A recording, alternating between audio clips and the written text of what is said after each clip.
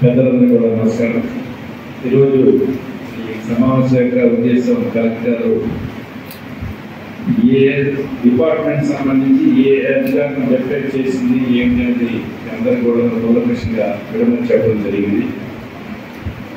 కార్యక్రమం చాలా ప్రధానమైనటువంటి గౌరవ ముఖ్యమంత్రిగా శ్రీ వైఎస్ జగన్మోహన్ రెడ్డి గారు ఈ నిజాంపట్నం రావడం అనేటువంటిది మేము కూడా చాలా సంతోషంగా చాలా గట్టిగా ఈ కార్యక్రమాన్ని ఆర్గనైజ్ చెప్పేశారు. నేను గతంలో రాజశేఖర్ గారు చంద్రబాబు గారు జోషి గారు అందరూ కూడా నిజాంపట్నం ముఖ్యమంత్రి హోదాలు చేసినటువంటి పరిస్థితుల్లోనే ఉన్నాయి వాటన్నిటికన్నా కూడా భిన్నంగా ఈ కార్యక్రమాన్ని నేను చేద్దాం అనేటువంటి అధికార యంత్రాంగం మా పార్టీ నాయకులు అందరూ కూడా పట్టుదలతో నిర్ణయించండి ఉన్నారు ఈ సందర్భానికి వేసవికాలం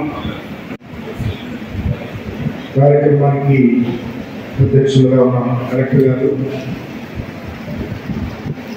మాజీ మంత్రివర్యులు అలాగే రాజ్యసభ సభ్యులు మోపిది వెంకటరమణారావు గారు ఎమ్మెల్సీ సీఎం గారి ప్రోగ్రామ్ కోఆర్డినేటర్ అన్న రఘురామ్ గారు జాయింట్ కలెక్టర్ గారు ఎస్పీ గారు.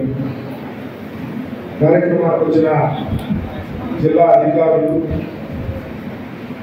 పత్రిక పత్రికా విలేకరులందరికీ కూడా నమస్కారం. జిల్లా ఏర్పడిన తర్వాత ఈ డివిజన్కి గౌరవ ముఖ్యమంత్రి గారు రావడం అనేది చాలా ఉదాహరణ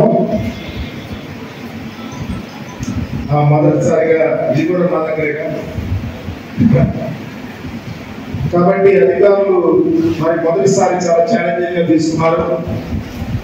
కొత్త కలెక్టర్ గారు మరి జాయింట్ కలెక్టర్ గారు కూడా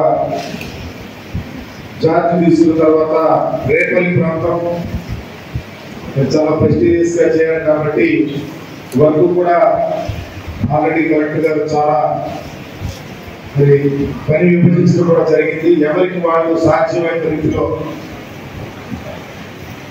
మత్స్యకార భరోసా ప్రోగ్రామ్ని సక్సెస్ చేస్తారని ముఖ్యంగా మరి ఎంపీ గారు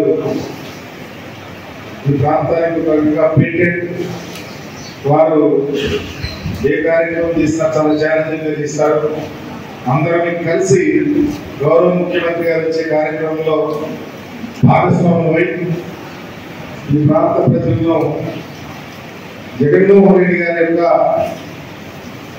ఆలోచనలకు అనుగుణంగా ముందుకు తీసుకెళ్ళే విషయంలో ఈ ప్రోగ్రాం చాలా ఉపయోగపడుతుందని తెలియపరుస్తూ కార్యక్రమాన్ని శక్తి వంచన మేరకు అందరూ కలిసి జయప్రదం చేస్తారని కోరుకుంటూ